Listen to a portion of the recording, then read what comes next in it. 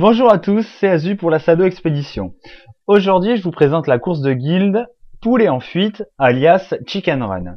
Rendez-vous dans les champs de ruines pour faire cette course. Donc présenter cette course est un bien grand mot, puisqu'elle est relativement simple, je vais juste vous donner quelques conseils. De façon générale, comme dans toutes les courses, le parcours est jonché de pièges. Donc activez la compétence 1 en auto-attaque pour simplifier le run.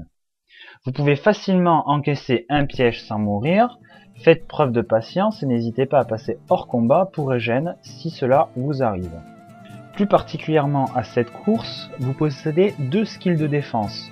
Le 2 vous confère un boost de vitesse et un gros heal, il vous met quasiment full ville. Le 3 vous met invisible. Dans cette course, il y a deux passages délicats.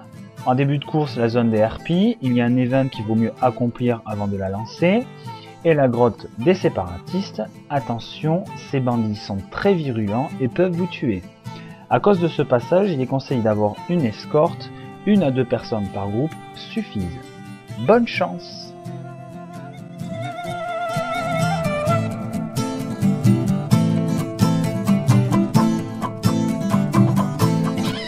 C'est le Larry du poulet, dansez, dansez si vous le pouvez. C'est le du poulet, dansez, dansez si vous le pouvez. Mais il vaudrait mieux s'en méfier, à mort il peut vous picorer. Mais il vaudrait mieux s'en méfier, à mort il peut vous picorer. Jamais assez ne vous méfiez de ce gentil galinacé. Jamais assez ne vous méfiez de ce gentil galinacé. Mais peu de gens pourront parler pour ceux qui lui ont résisté. Mais peu de gens pourront